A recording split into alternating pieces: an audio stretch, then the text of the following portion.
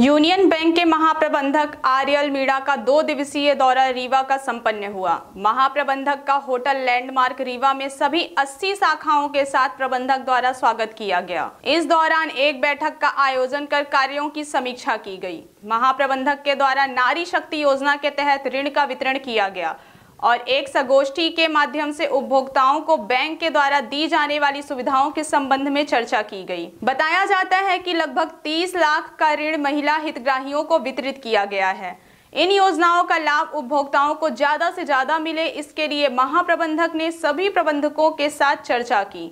महाप्रबंधक ने इस दौरान यूनियन बैंक के साथ टाई अप इंश्योरेंस की कंपनी के द्वारा दी जाने वाली क्लेम राशि का वितरण किया। बताया जाता है कि दो हितग्राहियों को पाँच पाँच लाख का एक्सीडेंटल क्लेम के चेक प्रदान किए गए आपको यह भी बता दें कि पूरे ज़िले में यूनियन बैंक की सबसे ज़्यादा शाखाएँ संचालित हैं, जहाँ उपभोक्ताओं को ज़्यादा से ज़्यादा शासन की योजनाओं का लाभ देने के साथ साथ उपभोक्ताओं को बैंकिंग सुविधा उपलब्ध कराई जा रही है। आइए दिखाते हैं आपको कुछ दृश्य और सुनाते हैं महाप्रबंधक ने क्या कहा। हम लोगों को लेना चाहिए।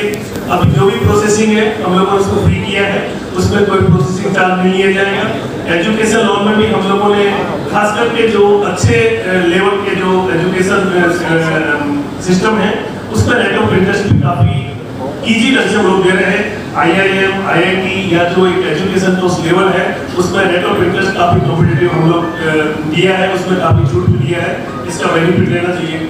आप लोगों को बुलाने का हमारा जो है उद्देश्य है लोगों में अवेयरनेस पैदा करना, क्योंकि आप लोग जुड़े हुए हैं, लेकिन बहुत सारे हमारे प्रोडक्ट है, उसके बारे में लोगों को जानकारी नहीं होती हमारा मेन मकसद है कि आप लोग इस अवेयरनेस से उन प्रोडक्ट के बारे में जानकारी लें, क्योंकि कहीं ना कहीं प्रोडक्ट हर बैंक में होते हैं, चाहे वो प्राइवेट बैंक है चाहे जो पी है।